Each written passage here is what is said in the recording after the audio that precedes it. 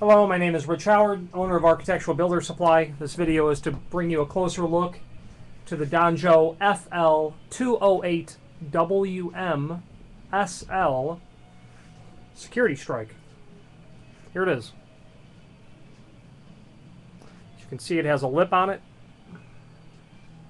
It's 13 gauge thick, um, and what that means is it's it's quite it's it's quite heavy steel. It's not an eighth of an inch thick, but it's 330 seconds.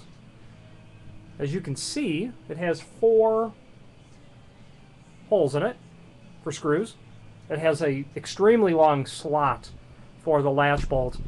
This is what Don-Jo is calling universal um, because this can kind of be located uh, on the door to better suit maybe damage, uh, located on the frame to maybe better suit damage on the frame you know, in terms of a vertical location.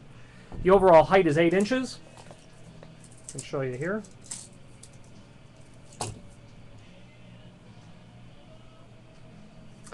The overall width will be slightly harder to measure because of the lip.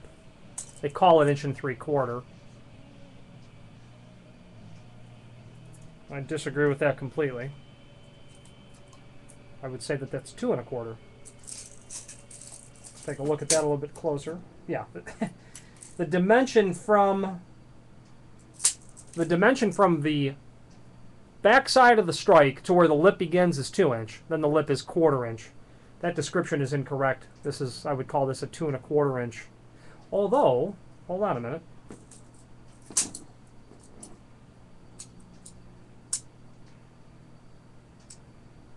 Um,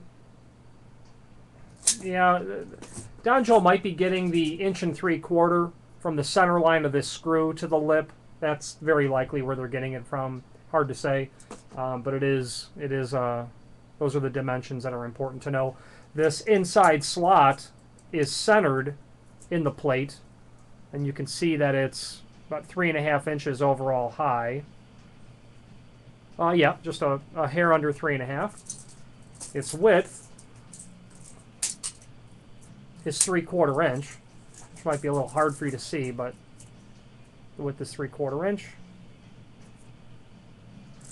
Um, it includes screws. This package has additional screws in it.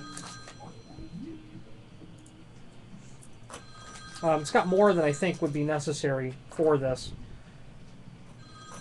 This package has four of these three inch long number eight flathead screws. And then has two of these number 12 by one inch screws. Your short ones would go here. Your long ones would go up here. It'll look like that when you get it installed. This will go into the, the center one will go into the frame